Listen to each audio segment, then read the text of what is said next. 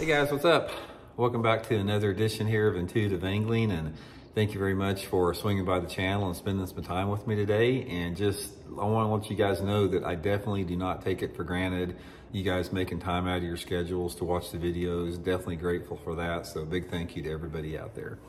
Guys, today we're going to be talking about my favorite springtime swim jig. Really from about the months of uh, mid-March into early May. This particular setup that I'm going to show you here, it's a real specialized swim jig. And I'm going to give, give you guys some tips and advice on how to fish it and what to look for to throw it around. I think it's going to add up to some good fish for you guys over the next month or so. Also, guys, I'd like to invite everybody out there, if you uh, consider to please subscribe here to Intuitive Angling. Uh, right now, we got only 40% of the people that watch the videos are subscribed to the channel. It's free and easy to do that. It's a good way to support the channel. So I'd like to invite everybody to hit that subscribe and notification button. Much appreciated. Okay guys, I'm gonna show you what it is and then we're gonna talk about a little bit more. It's the Megabass Uzo Swimmer swim jig. In this particular color, guys, this is a chartreuse white with a little bit of blue in it. And I've got a sort of like an albino colored uh, Megabass three inch spark shad behind it. This is a uh, finessey, finessey little swim jig. And the Uzo Swimmer, the thing that's unique about it is it's got this little spinner on it and added attractant. And I really like it because it's got this nano coated hook on it. This real slick, super sharp, small diameter, yet stiff nano coat hook on there. This is the best hook that you can possibly use in a swim jig. Nice little fish head design on there, guys. This thing has been a really good producer for me the last two years in the springtime. Now it's a little bit different because it's small. Most This bait is only like three inches long. Most people throw a larger swim jig. They throw like a 3 8 ounce or half ounce with a larger trailer on it, like a some type of rage crawl or speed crawl on it. This swim jig setup is about half the size of most swim jigs out there. And guys, I get a ton of bites on this thing and some good ones with it too. This particular color, smaller size like this, downsized profile. Now, first of all, let's talk a little bit about what you want to fish it around. It's obviously a shallow target bait. So I usually, I start throwing it once that water temperature starts to get into the upper 50s. And a lot of times that's sometime in the mid to late March, depending upon what part of the country you're in. And it doesn't matter what lake you're fishing. I don't care if you're fishing a grass lake in Texas or Florida, or if you're fishing up here in the Ozarks or whatever. The only thing that you have to do with this thing is fish it around whatever available shallow cover you have in the lake. If you got rocky banks, fish it around rocky banks. If you got lay down trees, fish it around lay down trees or stumps. You got shallow grass, fishing around the shallow grass.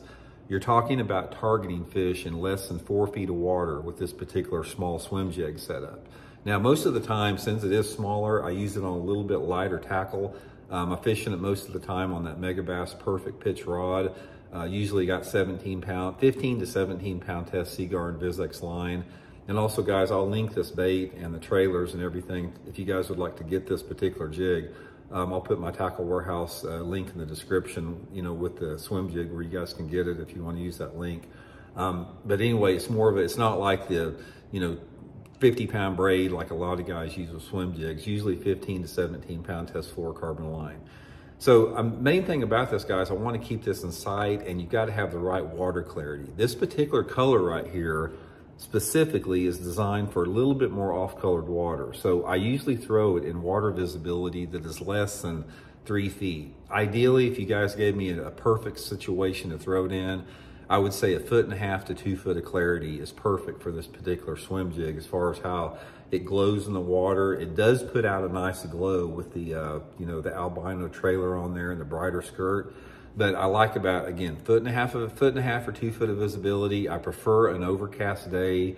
You don't necessarily have to have overcast, but you do have to have shade for this thing to work very good. It's not gonna work very good just reeling it through the water column in a foot and a half or two foot of visibility out in the bright sun like that. So cloudy conditions or throwing it in and around shade, keeping it in sight. Most of the time what I do is, you know, I'll just make a, I'll just cast around that shallow target there. I'll keep my rod tip high and I'm just shaking the rod and reeling it like that. You know, I don't like to reel a swim jig, just reeling it. I usually like to shake it, you know, to get the thing where it just sort of, you know, goes up and down a little bit like that, just gives it some action.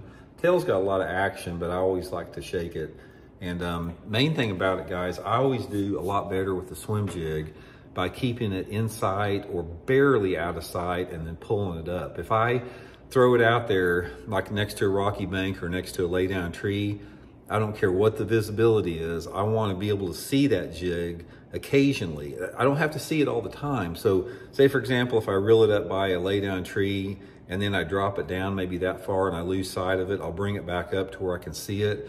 But you always want to keep the swim jig in visual sight most of the time. It just seems like the bass hit it a little bit better.